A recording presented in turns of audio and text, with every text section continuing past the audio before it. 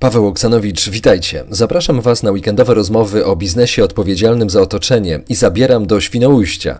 Jeszcze nie turystycznie, ale po to, aby porozmawiać o jednym z ważniejszych działań nowoczesnego wielkiego biznesu na zachodnim wybrzeżu kraju, widzianym oczami człowieka, który był w środku wydarzeń. Rozmowa jest swego rodzaju podsumowaniem z wielu powodów. Jakich? Przekonajmy się już teraz. W programie chciałbym przywitać Macieja Mazura, do niedawna dyrektora komunikacji korporacyjnej w firmie Polskiej LNG. Dzień dobry. Witam serdecznie. Powiedziałem, że do niedawna dyrektorem, bo y, już Twoja ścieżka zawodowa rozminęła się z, z tym, y, gdzie podąża polskie LNG, ale zanim do tego dojdziemy, chciałbym, abyś nam powiedział i przypomniał, co było Twoim największym osiągnięciem właśnie na tym stanowisku. W spółce Polskiej LNG spędziłem łącznie ponad 4 lata i uważam, że to był czas pełen sukcesów, e, zwłaszcza dla mnie osobiście e, i dla spółki też e, jako całości. Udało się zbudować terminal, to jest ten największy sukces, w którym każdy uczestniczył. Dla mnie, jako dyrektora Biura Komunikacji Korporacyjnej, na pewno największym sukcesem był wzrost świadomości ogółu społeczeństwa na temat tego, czym jest terminal LNG, jakie korzyści niesie dla Polski i Polaków. Ten wzrost świadomości był wyrażony m.in. badaniami opinii społecznej, które prowadziliśmy w 2012 roku. Jak robiliśmy badania, co czwarty Polak wiedział, czym jest terminal LNG. W 2015 ten wskaźnik się podniósł i teraz już co trzeci Polak ma świadomość, czym jest skroplony gaz ziemny, do czego może nam służyć i jakie korzyści e, przynosi. Drugim takim sukcesem, już tym bardziej związanym z naszą rozmową, e, jest to, co udało się osiągnąć w samym Świnoujściu, w dzielnicy Warszów, gdzie terminal jest umiejscowiony. Rozmawialiśmy, mieliśmy przyjemność rozmawiać już dwukrotnie na, na ten temat. Uważam, że cztery lata spędzone w tym projekcie pozwoliły na to, żeby zbudować prawdziwy dialog z interesariuszami projektu, zwłaszcza ze społecznością lokalną. Coś, co mam nadzieję będzie jeszcze wiele lat e, budowało relacje pomiędzy spółką a interesariuszami. Wiele naprawdę udanych projektów udało się zrobić, ponad 50 inicjatyw z zakresu biznesu społecznie odpowiedzialnego udało się zrealizować i myślę, że, że naprawdę jest się z czego cieszyć i można uznać, że ta misja, którą ja miałem w spółce do wypełnienia została zakończona. Teraz rzucę takie pytanie, czy było łatwo? No i oczywiście możemy zacząć się zastanawiać, o co chodzi właściwie, z czym miało być trudne, a co miało być łatwe. To może zacznijmy od tego budowania świadomości w całym kraju, budowania mm, tego, czym jest e, terminal LNG w Świnoujściu. Budowanie świadomości, czyli budowanie wiedzy na temat tego, czym jest skroplony gaz ziemny i do czego jest nam potrzebny. My nie staraliśmy się przekazywać wiedzy stricte technicznej, bo ona nie jest nikomu tak naprawdę potrzebna. Staraliśmy się mówić językiem korzyści, pokazywać, że skroplony gaz ziemny jest czymś, co jest w Polsce po prostu niezbędne, jest elementem dywersyfikacji, pozyskaniem paliwa z innego kierunku niż kierunek wschodni, otwarciem się na praktycznie cały świat, kierunkiem nowoczesnym i pożądanym przez Polskę, realizowanym zresztą przez najbardziej rozwinięte kraje na całym świecie. I to było kluczowe, żeby budować tą wiedzę. Budowaliśmy ją poprzez wiele programów edukacyjnych, między innymi udało nam się zbudować e, portal edukacyjny lng.edu.pl, na którym przedstawialiśmy najważniejsze informacje z zakresu skroplonego gazu ziemnego, z zakresu tego, jak funkcjonują terminale na całym świecie, jak będzie funkcjonował ten nasz terminal w Świnoujściu. Zainteresowanie było duże, było duże w związku z, także z problemami, jakie miała ta inwestycja, o tym nie można zapominać i to jest coś, z czym się mierzyliśmy praktycznie każdego dnia, ale to zainteresowanie wywoływane często w ten sposób negatywny, czyli poprzez e, opóźnienia, staraliśmy się przekuwać na zainteresowanie pozytywne, czyli przekazywanie wiedzy i budowanie świadomości, czym będzie ta instalacja, gdy ona już powstanie. Opóźnienie w budowie dwa lata. Czy mm, spodziewałeś się, że to potrwa aż tyle? Nie spodziewałem się. Przychodząc do spółki, planowałem, że zostanę w niej dwa lata, czyli do zakończenia projektu. Zostałem cztery lata do zakończenia projektu, tylko z tym drobnym opóźnieniem. Mimo, mimo tego opóźnienia, wydaje się, że ten czas, który stworzył się samoistnie poprzez opóźnienie, wykorzystaliśmy na to, żeby właśnie tą wiedzę budować, budować relacje z mieszkańcami, zrobić jeszcze więcej programów, z których teraz możemy być dumni i nieco odciągać uwagę e, ogółu społeczeństwa od opóźnień, a przedstawiać m.in. informacje na temat LNG, czy rozmawiać ze społecznością lokalną, by kolejne programy były realizowane. Czy opóźnienia były spowodowane również problemami pozatechnicznymi, bo Włosi, którzy budowali terminal, oczywiście wydłużali ten cykl ze względów technicznych, to, to wiemy, natomiast zastanawiam się nad tym, czy, czy odbiór w samym Świnoujściu przez mieszkańców Świnoujścia, odbiór budowy terminalu nie powodował tych zakłóceń. Na szczęście nie. To jest ten największy sukces, który, który został stworzony poprzez, e, myślę, tą politykę, którą prowadziliśmy. W 2010 roku, jak były pierwszy raz wykonywane badania opinii publicznej w Świnoujściu, e, liczba respondentów e, opowiadających się za terminalem była około 50%. 50% respondentów była przeciwna. Gdy kończyliśmy e, nasze działania w 2015 roku, pod koniec, e, o ponad 80% mieszkańców Świnoujścia opowiadała się za terminalem, a świadomość tego, czym jest terminal, w samym Świnoujściu była na poziomie 99%, czyli praktycznie każdy mieszkaniec Świnoujścia wiedział, czym jest terminal LNG i do czego będzie Polsce służył. Na szczęście udało się uniknąć e, opóźnień natury społecznej. Nie było żadnych protestów od 2012 roku a z komunikacją e, tego typu inwestycji to jest trochę tak jak z systemami przeciwpożarowymi. Jeśli wszystko działa, jeśli nie ma żadnych pożarów, to nikt o nich nie mówi. Jak coś się wydarzy, to wtedy wszyscy zaczynają się zastanawiać, czy wszystko zostało zrobione w najlepszy sposób. Tak samo z działaniami z zakresu CSR-u i komunikacją e, w kierunku społeczności lokalnej. E, to, że nie było żadnych opóźnień, uznaję za sukces, porównując nasz projekt z projektami na całym świecie terminalowymi, ale też dużych, dużymi inwestycjami infrastrukturalnymi, które mają bardzo często opóźnienia wynikające właśnie z problemów w komunikacji pomiędzy przedsiębiorstwem a interesariuszami.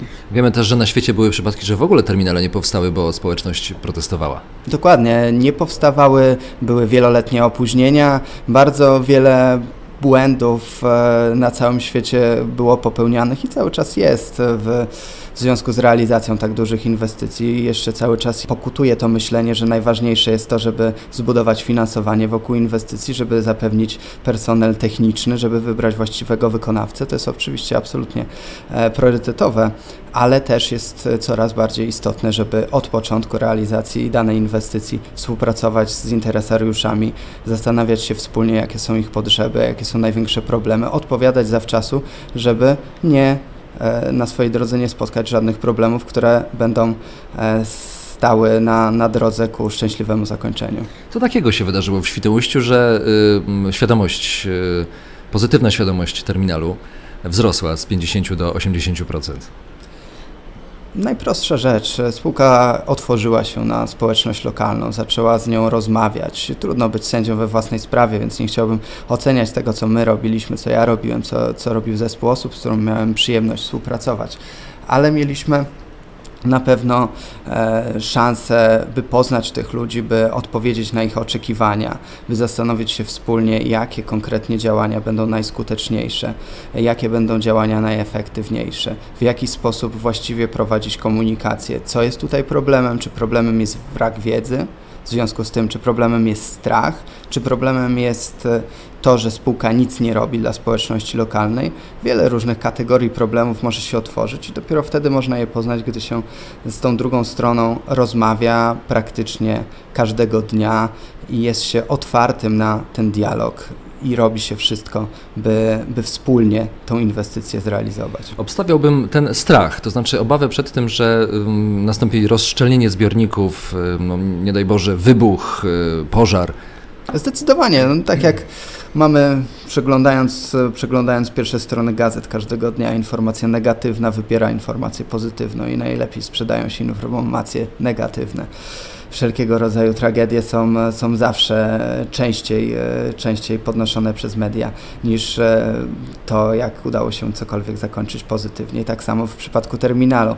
Ludzie nie wiedząc, co to jest e, skroplony gaz ziemny, jakie ma właściwości, czy jest bezpieczny, czy jest niebezpieczny, jakie są technologie zabezpieczenia samej instalacji, jaką jest terminal LNG, po prostu się tej instalacji bali. Nikt nie chciał im powiedzieć, jak to wyglądało, a gdy ludzie i wszyscy tak samo działamy. Gdy nie wiemy, to się po prostu boimy, więc naszym głównym celem było to, by w każdej naszej inicjatywie, którą realizowaliśmy, w głównej mierze decydować się na ten atrybut edukacji i przy e, nawet działaniach wspierających e, koncerty w Świnoujściu, działania sportowe, my zawsze staraliśmy się dodać atrybut edukacyjny, zrobić stanowisko, w którym moglibyśmy porozmawiać z mieszkańcami, przekazać im rzetelną wiedzę na temat tego, jak funkcjonuje terminal, być otwartym na każde pytanie, na każdy zarzut, odpowiadać w sposób transparentny, uczciwy i rzetelny. I po paru latach wydaje się, że ludzie przestali się obawiać tego, co się może wydarzyć e, na Warszawie, w Świnoujściu. Uznali, że jesteśmy partnerem, a nie obiektem, którego potrzeba się bać i obchodzić z daleka. Kiedy przyszedłeś do spółki, jaki był stan wiedzy na temat e, CSR-u, społecznej odpowiedzialności biznesu? Wydaje się, że niestety bardzo niski. Można było to zaobserwować poprzez e, najprostszą e, zależność e, w postaci braku komunikacji z interesariuszami, ze społecznością lokalną. Gdy ja pierwszy raz spotykałem się z wybranymi osobami ze społeczności lokalnej, ich nieufność była na tak dużym poziomie, że rozmowy ze mną chcieli nagrywać. Tak bardzo obawiali się tego, że po raz kolejny przyjdzie jakaś osoba ze spółki, będzie opowiadała różne różne rzeczy, które później nie będą miały pokrycia w faktach. To pokazuje, że, ten, że ta warstwa komunikacyjna związana ze społeczną e, działalnością biznesu była całkowicie zapomniana. Programy były wprawdzie realizowane na bardzo małą skalę i były realizowane z perspektywy zacisza biurowego w Warszawie czy to w Świnoujściu, ale bez kontaktu z tymi najbardziej zainteresowanymi, a to nigdy nie może przynieść żadnych korzyści. Jak więc zmieniła się spółka pod wpływem działania Twojego i Twojego biura? Tak jak już mówiłem, trudno być sędzią we własnej sprawie. Chciałbym, żeby to inni oceniali, ale mam nadzieję, że spółka zmieniła się pozytywnie. Terminal, spółka zaczęła być po prostu, kolokwialnie mówiąc, lubiana w Świnoujściu i to jest wielki plus. Nie trzeba było się obawiać, mówiąc, że pracuje się w spółce po, Polskie LNG, tylko stało się to powodem do dumy. Mam nadzieję, że, że tak było. Na pewno znajdą się, się tacy, którzy e, nie zostali w tych 100% 100% e, zaspokojeni, czy to informacjami, czy pozytywnymi działaniami ze strony spółki, ale jak pokazują badania opinii, które staraliśmy się robić rokrocznie, żeby e, znajdować swoje słabe punkty i e, poprawiać się z roku na rok, wydaje się, że rzeczywiście coraz więcej osób miało świadomość, czym jest spółka i coraz więcej osób akceptowało działania podejmowane przez spółkę. Najlepiej oceniane były te działania, które realizowaliśmy wspólnie ze społecznością lokalną, dialog społeczny, społeczny, Fundusz Wspierania Inicjatyw Lokalnych, e, współpraca z lokalnymi ośrodkami turystycznymi, takimi jak Fort Gerharda, Podziemne Miasto, Latarnia Morska. Ludzie widzieli, że rzeczywiście spółka chce, a rzadko kiedy tak naprawdę spółka chce, a to od tego chcenia zależy tak naprawdę sukces. Od czego zależy ten sukces e, rozpoczęcia dialogu z otoczeniem, wyjścia do ludzi? No nie byliście jedyni, bo chociażby KGHM e, prowadził i prowadzi bardzo intensywny dialog ze swoim otoczeniem. To znaczy, że był, jest, jak mi się wydaje, potencjał CSR-owy biznesu społecznego odpowiedzialnego w spółkach Skarbu Państwa był, jest i będzie. Wydaje się, że to jest trend, którym podąża cały świat i, i cały świat, nie tylko Polska, ma świadomość tego, że działania związane z biznesem społecznie odpowiedzialnym, z relacjami z kluczowymi interesariuszami stają się jednymi z priorytetowych zadań każdego przedsiębiorstwa, niezależnie czy to jest przedsiębiorstwo należące do Skarbu Państwa, czy to jest przedsiębiorstwo prywatne polskie, czy prywatne międzynarodowe. Tak naprawdę te przedsiębiorstwa muszą się liczyć z tym, że brak współpracy z interesariuszami będzie oznaczać kłopoty, więc po prostu z biznesowego punktu widzenia to się przedsiębiorstwom przestaje opłacać. Trzeba się zastanowić nad tym, jakie jest oddziaływanie e, tego biznesu, który się prowadzi i odpowiednie narzędzia uruchomić, żeby, żeby odpowiadać na oczekiwania społeczności. Wygląda więc na to, że wcale nie miałeś jakiegoś bardzo trudnego zadania, skoro mm, management firmy już zdawał sobie sprawę z tego, że taki dialog społeczny należy prowadzić. Wydaje się, że, że niezależnie od tego, do kogo należy spółka, e, kluczowe są e, trzy aspekty w tym, jak jakie działania mogą być podejmowane z zakresu biznesu społecznie odpowiedzialnego. Ja to sobie nakreśliłem jako trzy warstwy, e, które wewnętrznie trzeba uruchomić i one muszą działać dobrze. Tą warstwą najwyższą jest warstwa zarządu. E, musi być e, decyzyjność na tym poziomie, musi być chęć realizacji tych działań. Następnie osoby takie jak ja, które kierowały komórką zajmującą się komunikacją, muszą wiedzieć, jak to się robi, muszą chcieć to robić i wreszcie muszą być osoby, które, które będą już tą pracę wykonywały. I jeśli te trzy te trzy warstwy wzajemnie współpracują i są e, ukierunkowane na to, żeby, żeby osiągnąć sukces we współpracy z interesariuszami, to ten sukces musi mieć miejsce. Ja miałem rzeczywiście to szczęście pracując z trzema różnymi zarządami, iż każdy z tych zarządów e, był przychylny wobec tych działań, e, które podejmowaliśmy również dzięki temu, że one rzeczywiście przynosiły, e, przynosiły skutki pozytywne. Nie było wiadomości w mediach lokalnych o protestach, nie było informacji o tym, że terminal budzi strach, budzi zaniepokojenie czy jakiekolwiek inne negatywne uczucia. To na pewno pomagało w tym, żeby przekonywać interesariusza wewnętrznego, z którym czasem rozmowa może być e, równie trudna, a często nawet trudniejsza niż z tym interesariuszem zewnętrznym, ale trzeba umieć dotrzeć zarówno do wewnętrznego, wewnętrznego, jak i zewnętrznego. A co było powodem Twojego odejścia z polskiego LNG? Myślę, że zakończenie misji. Ja jestem osobą młodą i szukam cały czas nowych wyzwań. W spółce Polskiej LNG miałem e, wielką przyjemność spędzić 4 lata. To była piękna misja, mnóstwo się nauczyłem w tym okresie. Wydaje się, że też zrealizowaliśmy z wspaniałym zespołem osób e, parę fajnych projektów, które będą jeszcze służyły spółce przez lata i będą dobrym przykładem dla, dla innych podmiotów, które będą chciały pójść e, w tym samym kierunku. Ale misja się zakończyła, terminal został zbudowany, został e, odebrany od wykonawcy. Teraz jesteśmy na etapie eksploatacji. Te relacje są już zbudowane na tyle dobrze, że trzeba kontynuować e, tą komunikację, która była prowadzona, e, a nic nie powinno się wydarzyć niepokojącego. I teraz przyszedł czas na nowe wyzwania. Twoje odejście miało coś wspólnego z polityką? Nie, absolutnie. Ja staram się jak najdalej trzymać od polityki i nie mieć z tym nic wspólnego. Każda spółka jest zarządzana w sposób indywidualny. Ja nie, nie spotkałem się z żadnymi negatywnymi, negatywnymi przykładami oddziaływania polityki na moją osobę. Nic z tych rzeczy. To teraz powiedzmy o tych e, kluczowych e, projektach, które zostały zrealizowane w Świnoujściu wokół terminalu LNG, a które, tak jak wspomniałeś, będą wciąż przynosić spółce korzyści. Na pierwszym miejscu zawsze wymieniam i, i będę wymieniał dialog społeczny, bo to jest największe narzędzie, które służy każdemu przedsiębiorstwu do tego, żeby budować dialog z interesariuszami różnego typu, bo to nie tylko społeczności lokalne, ale wszystkie podmioty, instytucje, które mają e, styczność e, z przedsiębiorstwem. Przeprowadziliśmy dialog społeczny. Na jego podstawie wiedzieliśmy, jakie kierunki należy podjąć e, w innych obszarach. E, na podstawie dialogu społecznego przygotowany został program grantowy Fundusz Wspierania Inicjatyw Lokalnych. Został przygotowany program Bezpieczne Miasto, który miał na celu budować edukację nie tylko z zakresu tego, czym jest terminal LNG, ale też z zakresu bezpiecznego wypoczynku nad wodą, co jest niezwykle istotne w takiej lokalizacji, w jakiej jest umiejscowiony terminal LNG.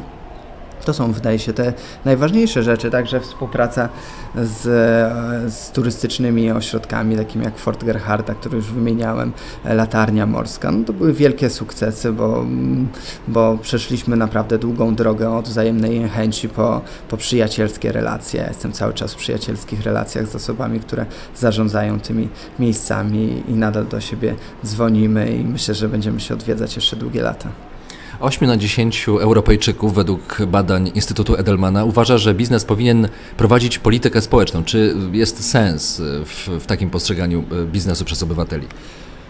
Odpowiedź wydaje się oczywista, ale ja postaram się odpowiedzieć w nieco inny sposób, e, cytując inne badanie. Niedawno McKinsey Company, firma doradcza, przeprowadziła badanie nieco od drugiej strony, czyli nie od strony interesariuszy, tylko od strony przedsiębiorstw. E, badane były międzynarodowe przedsiębiorstwa e, dużej skali. I co z tego badania wynikło? Wynikło, że zagadnienia związane z external relations, z relacjami zewnętrznymi, są coraz istotniejsze dla e, przedsiębiorstw międzynarodowych e, i coraz częściej prezesi zarządów czy zarządy tychże spółek wskazują external relations, relacje zewnętrzne jako kluczowy priorytet funkcjonowania przedsiębiorstwa lub wskazują jako jeden z trzech kluczowych priorytetów. Przy tym cały czas przyznają zarządzający tymi firmami, że trzeba się uczyć, trzeba się dokształcać, bo to jest obszar biznesu, który jest jeszcze cały czas niezgłębiony, więc cały czas jeszcze bardzo dużo zostaje do zrobienia. Jeśli zatem e, te największe przedsiębiorstwa światowe mają tego świadomość, że to jest niezwykle istotne, należy podążać w tym kierunku, ale z drugiej strony należy cały czas się uczyć, no to jest chyba najlepsza odpowiedź e, na pytanie, czy warto w tym kierunku zmierzać. Jak wyobrażasz sobie rolę polskiego LNG na y, tym zachodnim wybrzeżu Polski? E, czy mm, ten dialog powinien być ograniczany, czy ograniczony tylko do Świnoujścia, czy być może nie, właśnie y, biznes wychodząc dalej, y, ten biznes konkretnie, już powinien wymyślać dla siebie strategię funkcjonowania w jakimś szerszym kontekście? Wydaje mi się, że koszula bliższa ciału i powinniśmy, powinniśmy działać lokalnie e, i naprawdę dużo jest do, do zrobienia w każdym miejscu Polski lokalnie.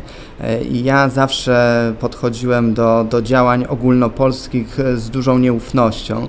Już uważam, że to są działania, które być może wizerunkowo lepiej się przebiją na poziomie ogólnopolskim do świadomości odbiorców, bo łatwiej jest coś, e, kolokwialnie mówiąc, sprzedać w Warszawie czy w Krakowie niż w Świnoujściu, ale z drugiej strony polskie LNG terminal zbudowało właśnie w Świnoujściu, jest największym przedsiębiorstwem, jakie jest zlokalizowane w tym mieście i ma bardzo dużą odpowiedzialność wobec Świnoujścia, więc uważam, że, że powinno realizować te działania głównie w Świnoujściu, aczkolwiek to już jest e, pytanie pewnie do osób, które zarządzają komunikacją w polskim LNG obecnie. Ja im życzę samych sukcesów i trzymam za nich kciuki prowadzenie tych relacji zewnętrznych na poziomie lokalnym to jest już y, mieszanie się w politykę. Mm, nie chodzi tutaj wcale o, mm, o, o władzę, o chęć władzy, z tym, że no, prowadzenie już polityki no wiem, społecznej, chociażby y, budowanie mm, polityki też przestrzennej, rozwoju miasta czy rozwoju gminy. Y, czy widzisz tutaj modele współpracy pomiędzy biznesem a administracją? Absolutnie. Wszystkie działania, które my prowadziliśmy i uważam generalnie, które przedsiębiorstwa prowadzą z zakresu biznesu społecznie odpowiedzialnego powinny być realizowane we współpracy i w porozumieniu z administracją centralną lub lokalną, z instytucjami odpowiedzialnymi za dane obszary, obszary w, w tych miejscach, w których zakłady są, są zlokalizowane. Na pewno nie, nie powinny przedsiębiorstwa zastępować e, administracji lokalnej, powinny ją wspierać. Więc tak jak my e, realizowaliśmy nasze działania, to podczas dialogu, społecz, dialogu społecznego e, na niektóre pytania odpowiadaliśmy jasno. Na przykład na pytanie, czy my zbudujemy drogę ekspresową, odpowiadaliśmy nie, nie zbudujemy drogi ekspresowej, bo my nie jesteśmy podmiotem do tego powołanym. My możemy we współpracy współpracy z Urzędem Miasta e, zrealizować program edukacyjny i wspierać miasto w tych działaniach edukacyjnych, które są realizowane, na przykład poprzez e, szkolenia dla kierowców komunikacji miejskiej z zakresu udzielania pierwszej pomocy. To jest idealny przykład tego, jak, jak może administracja lokalna współpracować z przedsiębiorstwem. Należy przedsiębiorstwo do, do miasta, ale my uczestniczymy aktywnie w edukacji personelu tego przedsiębiorstwa, tak by obopólna korzyść była dla przedsiębiorstwa, dla administracji lokalnej, ale głównie dla społeczności.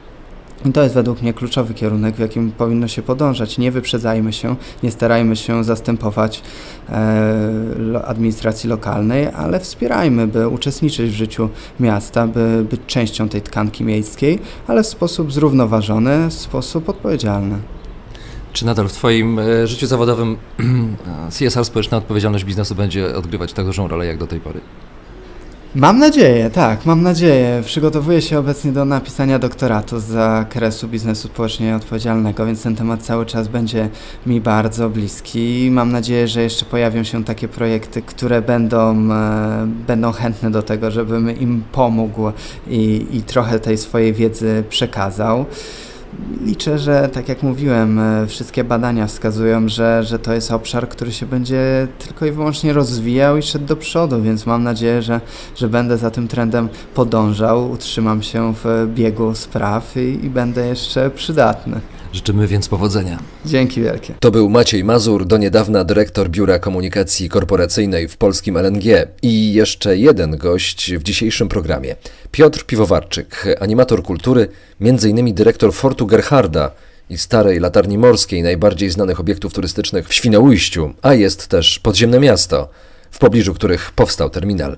Jak on ocenia współpracę z polskim LNG? Spółka jest mecenasem tak jednego, jak i drugiego obiektu. I poza tym, że ten dialog się odbywa na takiej podstawowej, dla nas najważniejszej płaszczyźnie, on dotyczy na przykład dojazdu do naszych obiektów, dotyczy e, przyszłości przedpola fortu. Ja przypomnę, że tu były najróżniejsze pomysły w związku z tym bliskim sąsiedztwem i jeden z tych pomysłów na przykład zakładał wycięcie starego parku, który sąsiaduje z, z naszym obiektem. Tam miał być przeprowadzony po prostu wielki, potężny rurociąg. I to, co jest dla nas najistotniejsze, jesteśmy partnerem w dyskusji, nie traktuje się nas przedmiotowo, tylko z nami się dyskutuje i już wiemy, że nikt nam tego parku wycinać nie będzie, że udało się znaleźć rozwiązanie, które niejako no, zabezpiecza interesy obydwu stron. E, poza tym, tak jak już mówiłem, e, spółka jako mecenas wspiera nas i to bardzo aktywnie przy organizacji najróżniejszych imprez. No, taka największa impreza, jedna z większych w Świnoujściu to są Dni Twierdzy. Spółka jest od trzech lat mecenasem tego przedsięwzięcia. Po kilkanaście tysięcy odbiorców w każdej edycji. To są wszystko imprezy i wydarzenia non-profit czy na przykład w remoncie eksponatów. Armata PAW 600, jedna z trzech zachowanych na świecie, ona mogła zostać e, doprowadzona do odpowiedniego stanu, zabezpieczona dzięki właśnie wsparciu, wsparciu spółki. Chociaż jeszcze raz powtórzę, to wsparcie materialne tutaj tak naprawdę jest najmniej istotne z naszego punktu widzenia. E, najistotniejsza jest ta chęć współpracy, dialogu, który w taki czy inny sposób przekłada się na nasze bezpieczeństwo i na możliwość planowania pewnej przyszłości z tak dużym i potężnym sąsiadem, jakim jest spółka. I to tyle w dzisiejszym wydaniu programu Bizon. Paweł Oksanowicz dziękuję i zapraszam na za tydzień w podobnych okolicznościach do Muzo FM.